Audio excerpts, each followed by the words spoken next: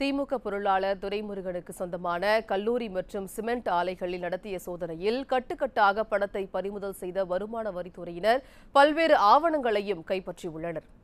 மக்களவைத் தேர்தலில் திமுகவிற்காக பணப்பட்டுவாடா செய்யும் பொருட்டு அக்கட்சியின் பொருளாளர் துரைமுருகன் ஏராளமான பணத்தை பதுக்கியுள்ளதாக கிடைத்த தகவலை அடுத்து வருமான வரித்துறையினர் அவருக்கு சொந்தமான வீடு கல்லூரி மற்றும் தொழிற்சாலைகளில் சோதனை மேற்கொண்டனர்.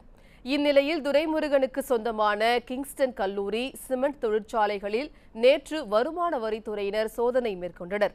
இதில் தேர்தலில் பட்டுவாடா செய்வதற்காக பதுக்கி வைக்கப்பட்டிருந்த பதினோரு கோடியே நாற்பத்தி எட்டு லட்சம் ரூபாயை அவர்கள் பறிமுதல் செய்தனர். கணக்கில் வராத கட்டுக்கட்டான இந்த பணத்தை கைப்பற்றிய வருமான வரித்துறையினர் மேலும் டைரி ஹார்ட் டிஸ்க் பென்டிரைவ் உள்ளிட்ட ஆவணங்களையும் பறிமுதல் செய்துள்ளனர். இதில் யார் யாருக்கு பணம் விநியோகிப்பது என்பது குறித்த விவரங்கள் உள்ளதாக கூறப்படுகிறது. இந்நிலையில் கிங்ஸ்டன் கல்லூரி வேலூர் சிமெண்ட் குடோனில் தொடர்ந்து சோதனை நடைபெற்று வருகிறது.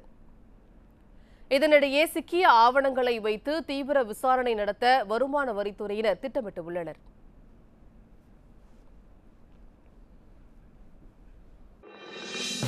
இது போன்ற முக்கிய வீடியோக்களை உடனுக்குடன் தெரிந்து கொள்ள நியூஸ் ஜே யூடியூப் சேனலை சப்ஸ்கிரைப் செய்யுங்கள்.